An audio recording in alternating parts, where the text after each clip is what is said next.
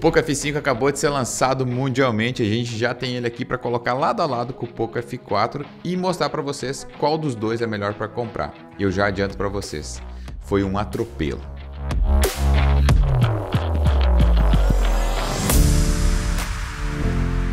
Começamos falando sobre as câmeras. Os dois têm o mesmo conjunto, a Xiaomi deve ter pensado, o time que está ganhando não se mexe, né?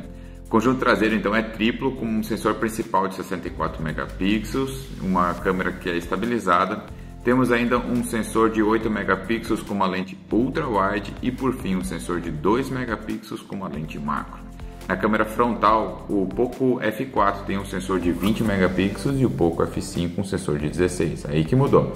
E também mudou a capacidade de gravação de vídeos. No F5 a gente tem Full HD 60 frames e no Poco F4 só Full HD a 30 frames. Estou gravando aqui com a câmera frontal dos dois lado a lado, você pode ver ao mesmo tempo para saber qual deles se sai melhor em vídeos na câmera frontal, caso você gostaria de produzir conteúdos com eles. Fique agora com as fotos para ver qual deles saiu melhor.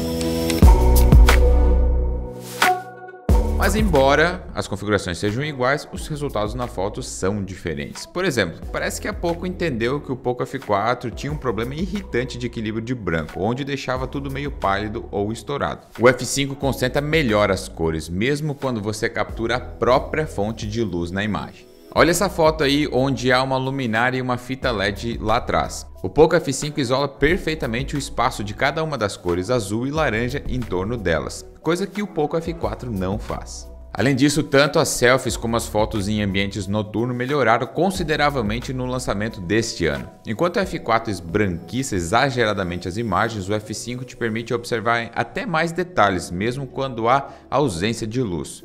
O Poco F5 então abre o nosso placar e sai na frente no comparativo.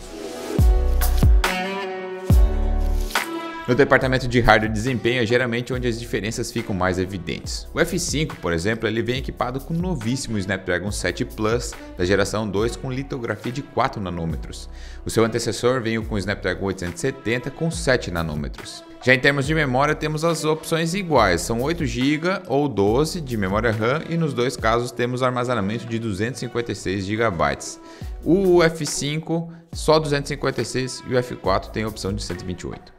Em todos os testes de benchmark realizados pelas principais plataformas do mercado que a gente fez por aqui, como o Antutu, 3D Mark, Geekbench e o CPU Throttling, o Poco F5 ficou na frente, ostentando mais performance e eficiência energética.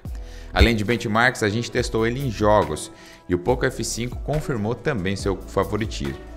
Em Call of Duty Mobile, por exemplo, ele bateu a média de 60 frames com 100% de estabilidade, o que aconteceu também no Poco F4. Em Free Fire, novamente um empate, ambos atingiram uma média de 90 frames a 100% de estabilidade.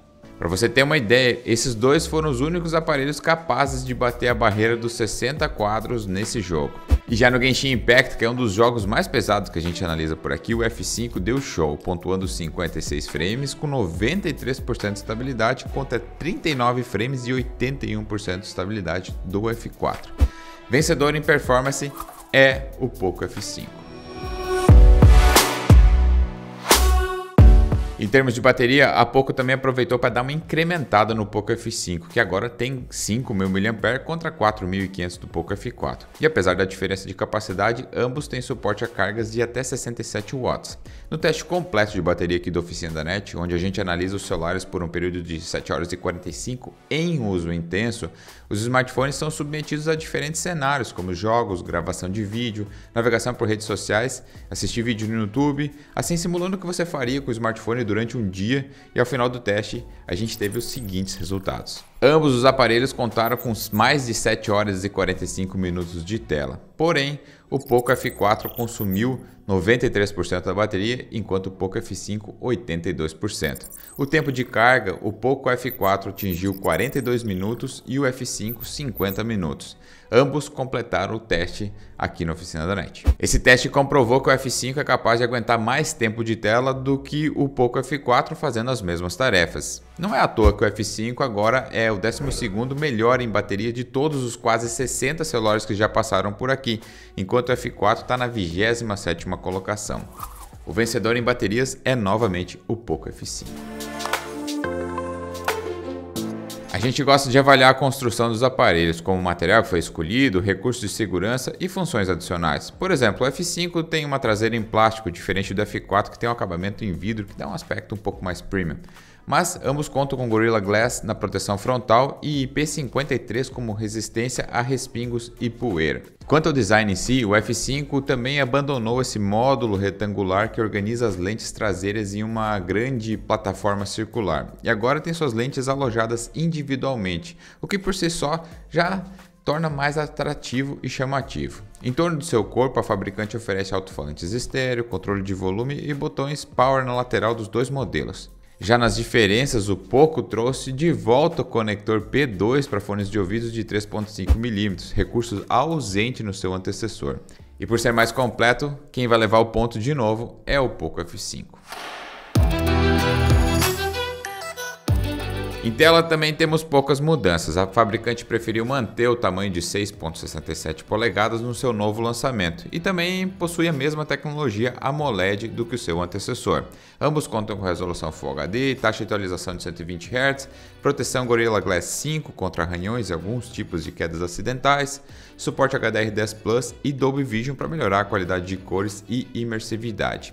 A única diferença entre os dois painéis é que o Poco F5 perdeu um pouco no seu brilho, caindo de um pico de 1300 nits para 1000 nits no modelo atual. E por conta disso, a tela do Poco F4 é que ganha aqui e vai levar o ponto nesse quesito. E falando em preços, 8 GB de RAM e 256 de armazenamento tem preços bem atrativos no mercado importado. O F5, por exemplo, ele foi lançado com preço sugerido próximo a 1.870, tem versões já com R$ 1.600 que tem um descontinho de lançamento. Já o Poco F4 sai aproximadamente por 1971 com a mesma configuração, 8 GB 256 comprando lá na China também. Ou seja, o Poco F5 está mais barato que o F4 comprando ele na China, o que confirma total a vitória do Poco F5 sobre o seu antecessor. E depois de analisar cada um dos departamentos, podemos apontar quais foram as diferenças entre as duas gerações da linha Poco F. O F5 tem o um melhor desempenho em jogos, graças ao seu novíssimo processador Snapdragon 7 Plus da geração 2, além de uma bateria mais eficiente e uma construção um pouco mais completa, com o conector P2 de ouvidos retornado após a ausência do Poco F4. Já o F4 tem uma tela ligeiramente melhor por causa do seu nível de brilho mais requintado. Já quando o assunto é câmeras, as fotos de ambos têm bastante qualidade, especialmente em ambientes externos com bastante iluminação. Mas deu para perceber aqui que o F5 conseguiu manter o que já era bom do F4 e corrigiu quase todos os defeitos que ele apontava. Assim como o placar avassalador de 5 a 1 em nossa análise, o Poco F5 é o grande vencedor deste duelo. E aí, o que você achou aqui da nossa comparação? Quer ver o F5 diante de outro smartphone? Sei lá, Galaxy S54, por exemplo, deixe aí nos comentários. Eu quero ver mais conteúdos com Poco F5, mais comparativos para saber qual comprar, tá bem? Vou ficando por aqui, um grande abraço e até o próximo vídeo.